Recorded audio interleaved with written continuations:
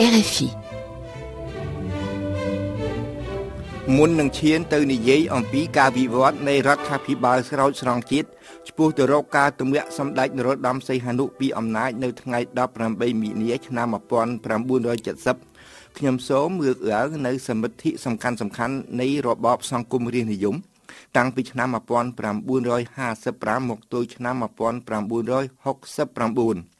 បើប្រៀបធៀបទៅនឹងរបបនយោបាយនានាឯទៀតជាពិសេសរបបប្រជាធិបតេយ្យតាមបែបបច្ចេកប្រទេសនិងរបបសង្គមនិយមឬរបបកុម្មុយនីសរបបសង្គមរាស្ត្រនិយមដែលសម្ដេចនរោត្តមសីហនុនិងសហការីរបស់ព្រះអង្គបានបង្កើតនៅថ្ងៃ23មិនិនាឆ្នាំ1955ហើយដែលបានត្រូវចាប់ដំណើរការនៅថ្ងៃ13មិថុនាឆ្នាំដដែលគឺថ្ងៃដែលសមាជជាតិលើកដំបូងបង្អស់បានបើកសម័យប្រជុំ គឺជារបបនយោបាយមួយ ដែលអ្នកខ្លះចាត់ទុកថាជារបបប្រជាធិបតេយ្យផ្ទាល់ពាក់កណ្ដាល Democracy Semi Direct ចំពោះមតិខ្លះទៀតគេមិនអាចនិយាយពីរបបប្រជាធិបតេយ្យបានទេកាលណាគ្មានបកនយោបាយផ្សេងផ្សេងទៀតចូលរួមក្នុងជីវិតនយោបាយហើយនេះជាករណីនៃរបបសង្គមរាស្ត្រនិយមតែម្ដង តាមការពិតគឺគ្មានអ្វីក្រៅពីរបបរាជានិយមតាមរូបភាពសម័យទំនើបទេឬមួយក៏ជារបបសេសានិយមតែម្ដងសេសារីស្មក៏អាចថាបានប៉ុន្តែទោះនៅក្នុងករណីណាក្តីការដែលសម្ដេចនរោត្តមសីហនុបានបង្កើតស្ថាប័នប្រមុខរដ្ឋនៅឆ្នាំ1960ក៏អាចចាត់ទុកថាជាការបើកផ្កើមមួយដ៏ធំសម្រាប់បញ្ចប់របបរាជានិយមជាប្រពៃណីបានដែរ។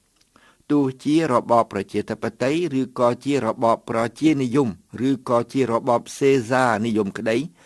របបសង្គមរាស្ត្រនិយមជារបបមួយដែលសាកល្បងសម្របឲ្យបានច្រើនបំផុតទៅនឹងការពិតជាក់ស្ដែងនៃសង្គមខ្មែរនៅពេលនោះដែលប្រជាកសិករមានចំនួនជាង80%ហើយដែលមានការលំបាកលំបិនយ៉ាងខ្លាំងក្នុងការគ្រប់គ្រងមួយ ដែលយោងទៅតាមច្បាប់ចាស់របស់បារាំងហើយដែលឈ្មួញបរទេសក្តាប់សេដ្ឋកិច្ចយ៉ាងណែន នៅក្នុងវិស័យសេដ្ឋកិច្ចសម្ដេចនរោត្តមសីហនុមានគោលបំណងមួយដ៏ចម្បង គឺរំដោះប្រជាកសិករឲ្យផុតពីក្រញាំដៃរបស់ពួកឈ្មួញពូគឺគោលដៅរបស់ពួកកុម្មុយនីសប៉ុន្តែនេះជាទំនាស់មួយយ៉ាងធំនៅក្នុងការអភិវឌ្ឍប្រទេសជាតិព្រោះថាគឺពួកកាហបតីពួកឈ្មួញនេះហើយដែលជាអ្នកកំណត់ការរីកចម្រើនផ្នែកសេដ្ឋកិច្ចជាពិសេសផ្នែកឧស្សាហកម្ម នៅពេលមួយដែលប្រទេសកម្ពុជាត្រូវបោះជំហានយ៉ាងស្វាហាប់ឆ្ពោះទៅរកភាពសម័យទំនើបការប្រណាំងប្រជែងជាមួយពួកកហបតីជាការផ្ទុយនឹងក្រិតក្រមរីកចម្រើន។ប៉ុន្តែបើបណ្ដោយឲ្យពួកឈ្មួញចាត់ចែងការអភិវឌ្ឍដោយត្រង់ត្រង់របបរាជានិយមឬអធិពលរបស់អ្នកដឹកនាំនយោបាយក៏នឹងត្រូវរង្គោះរង្គើដោយជៀសមិនផុតដែរព្រោះថាទោះចង់ឬមិនចង់ក្តី តាមរយៈក្រិតក្រមនេះអ្នកនយោបាយគ្រាន់តែជាតុក្កតាតែប៉ុណ្ណោះគេអាចនិយាយបានថាអស់រយៈពេល14ឆ្នាំ គឺពីឆ្នាំ55មកទល់ឆ្នាំ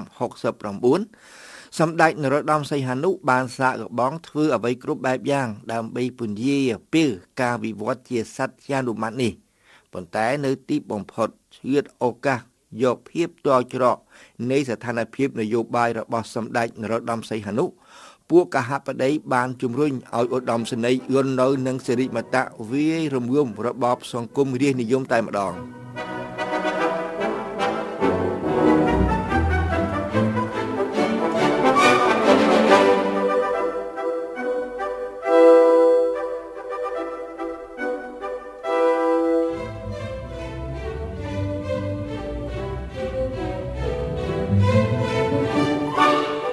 នៅក្នុងការប្រឹងប្រែងរបស់ព្រះអង្គដើម្បីទប់ទល់នឹងឥទ្ធិពលរបស់ពួកកហបតីផង ហើយដើម្បីកាត់ផ្តាច់ការវិវត្តរបស់ពួកកុម្មុយនីសផង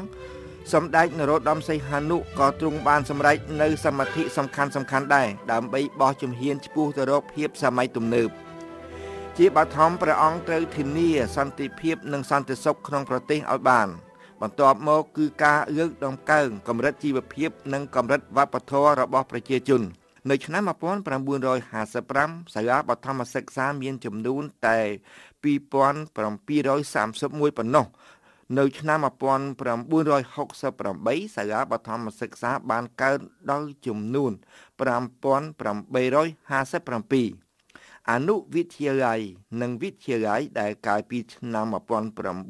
1955មានចំនួនតែ12ប៉ុណ្ណោះបានកើនមកដល់ចំនួន180នៅឆ្នាំ68 រីឯសាលាបច្ចេកទេសនិងមុខរបរបានកើនពី5នៅឆ្នាំ55មកចំនួន99នៅឆ្នាំ68មហាវិទ្យាល័យដែលមានតែ2នៅឆ្នាំ55បានកើនមកដល់ចំនួន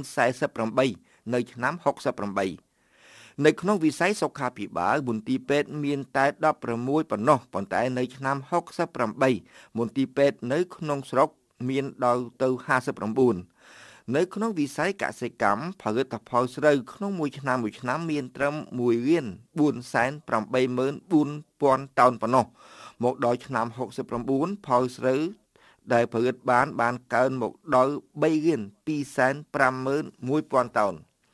ខាងផ្នែកសង្ខារណបរិខាព្រើគមនាគមន៍បានកើនពី4805គីឡូម៉ែត្រនៅឆ្នាំ55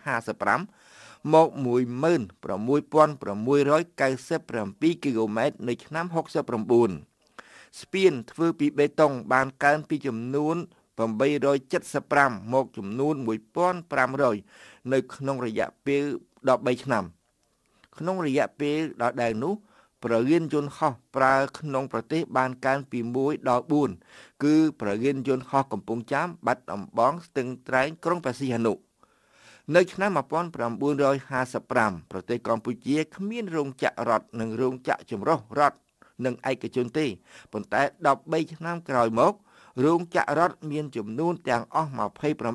28រីឯរោងចក្ររថចម្រុះជាមួយឯកជនមានចំនួន29ខាងវិស័យធម្មពលអគិសនីដោយ ការកសាងជយោធារាសាស្ត្រអគិសនីនៅឆ្នាំ1968ប្រទេសកម្ពុជាបានឈានពី11055គីឡូវ៉ាត់មកដល់70000គីឡូវ៉ាត់ដោយអស់ពេលវេលាខ្ញុំសូមស្ទះត្រង់នេះសិនចុះហើយនៅសប្តាហ៍ក្រោយខ្ញុំនឹងនិយាយអំពីការវិវត្តនៃរដ្ឋាភិបាលស្រោចស្រង់ជាតិរបស់អូដាមសេនីយួនណូនិងនៃអង្គម្ចាស់សេរីមតៈបន្តទៅទៀត។